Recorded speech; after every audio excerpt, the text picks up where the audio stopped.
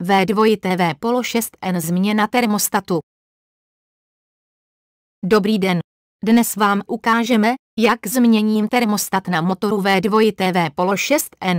Od motoru je ALL.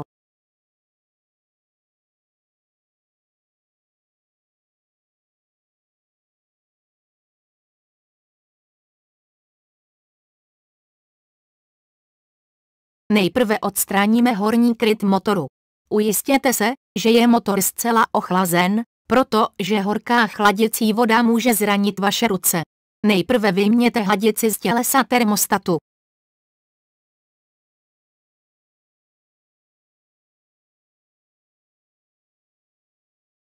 Nyní otevřete dva šrouby z tělesa termostatu nad převodovkou.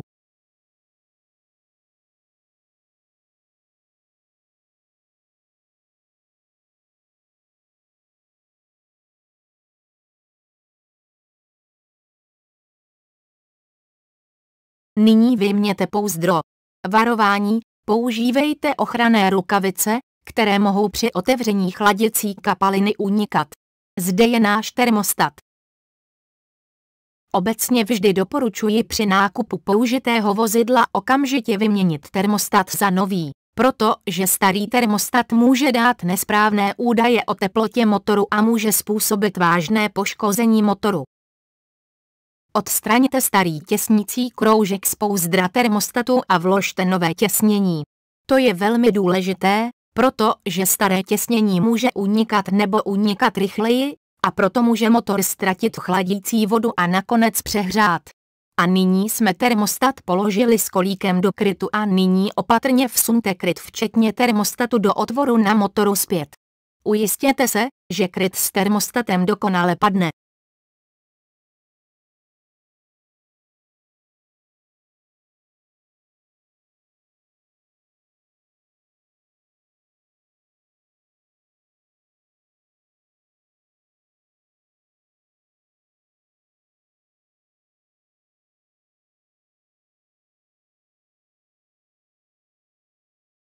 Teď můžeme našroubovat dva šrouby z pouzdra a věnovat pozornost správným momentem.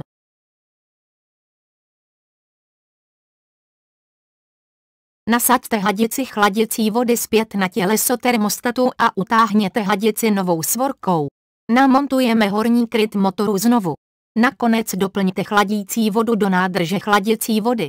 Přečtěte si prosím návod k vozidlu, který chladivo nebo přesněji, které glisantin potřebujete. Tento glisantin je k dispozici v červené, modré a žluté barvě. Nezapomeňte také na míchací poměr chladicí kapaliny, protože závisí na klimatu vašeho regionu. Pozor! Při plnění si prosím uvědomte přesně tyto kroky, nejprve nalévejte směsnou chladicí vodu do nádrže chladicí vody za druhé spustíte motor a pozorujte nádrž chladicí vody bez instalace krytu protože hladina chladěcí vody opět poklesne. Protože vzduch je stále v chladěcím systému za třetí nechte motor běžet po dobu nejméně pět a jakmile hladina chladěcí kapaliny klesne pod minimální značku, okamžitě doplňte maximální značku. Za čtvrté, sledujte běžící motor dalších pět. Za páté, pokud hladina chladěcí vody neklesne, vyměňte kryt a utáhněte. NAŠ chladěcí systém je nyní odvzdušněn a správně naplněn. Doufám, že jsem vám pomohl a přeji vám hodně práce v zábavě. Odmítnutí odpovědnosti, neposkytuji žádnou záruku nebo záruku za správnost a úplnost zobrazené práce. Požádejte o opravu autorizovaného mechaniku před pokusem opravit sám. Vždy dodržujte zákonné bezpečnostní pokyny, abyste zabránili poranění. Děkuji. S Bohem a dobrou jízdou.